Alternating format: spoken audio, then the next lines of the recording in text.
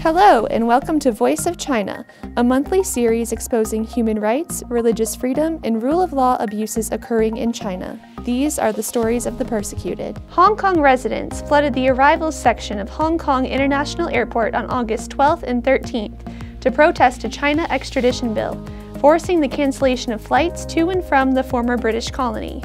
This is one in an endless stream of protests sparked earlier this year when Hong Kong Chief Executive Carrie Lam introduced a bill that would allow people in Hong Kong to be extradited to China for trial. The bill prompted concerns that Beijing would use this legislation to target individuals in Hong Kong, which has been a relative safe haven for human rights activists, and have them taken to China for prosecution, where courts have been known to prosecute those peacefully implementing their beliefs. In response, many have taken to the streets over the past months, clashing with riot police. The law enforcement officials have been firing beanbag rounds, rubber bullets, and tear gas at the protesters in an attempt to drive them back. But after they succeeded in blocking the streets to the legislative building in which Hong Kong officials were to vote on the bill, Lam retracted it for further modification. She did not withdraw it completely, however, lamenting that the people were not in agreement with what she deemed the bill's necessity. The protest culminated when thousands of protesters entered the arrivals section of the Hong Kong International Airport, forcing the Hong Kong Airport Authority to suspend flights. Police entered the building, wielding pepper spray and batons, according to the New York Times. A clash ensued. Meanwhile, China is slowly amassing an army on their side of the Hong Kong-Shenzhen border. This is causing some experts to worry that the Chinese Communist Party might strike, much like they did during the 1989 Tiananmen Square massacre, which resulted in the deaths of untold numbers of student pro-democracy activists and passersby. An elder from Early Rain Covenant Church in Chengdu, Sichuan, who was arbitrarily imprisoned in December, reunited with his family in August after being freed on bail. The elder, Li Yingqiang, was taken as part of a crackdown on the church that left more than 150 people in custody during the span of one week. During his time in prison, he was not allowed to contact with his family, and he was shackled and abused.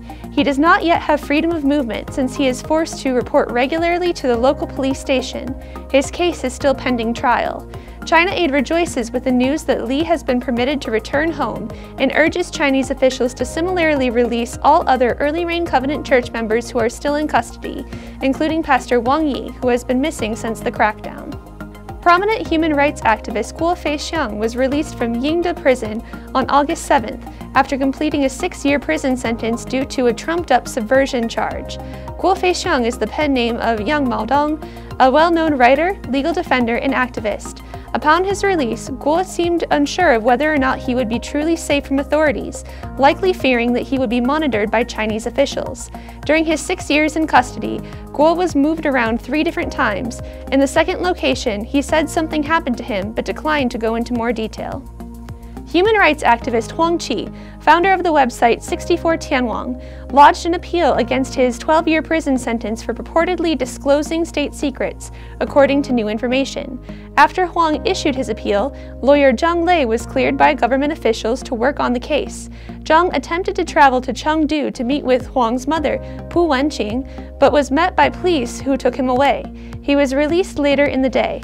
Pu has faced numerous difficulties in attempting to hire additional legal counsel. After securing a deal with a lawyer in Hangzhou, officials indicated the attorney needed to be approved in order to work the case. According to informants, Pu needs to make sure officials know the law firms any hired lawyers are associated with. They will be allowed to work the appeal case if authorities issue an approval. China Aid President Bob Fu was one of several human rights activists to meet with Vice President Mike Pence on August 5th, highlighting key areas of persecution in China.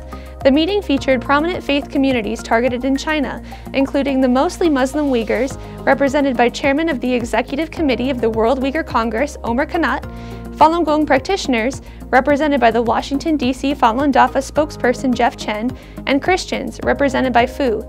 Each representative presented respective summaries of China's persecution of the people in their communities, spotlighting the core issues of an ongoing Uyghur genocide, the monitoring of Christian churches, and the suppression of Falun Gong adherents. They also named principal members of these communities who have been persecuted.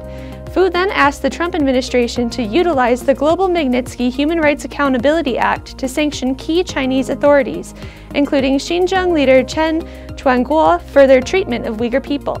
The Global Magnitsky Human Rights Accountability Act, named for Russian accountant Sergei Magnitsky, who was tortured in Moscow and later found dead in his prison cell in 2009, allows the U.S. president to withdraw the visa of any person or entity entrenched in deep corruption or, according to Section 3, Clause 1 of the Act, is responsible for extrajudicial killings, torture, or other gross violations of human rights.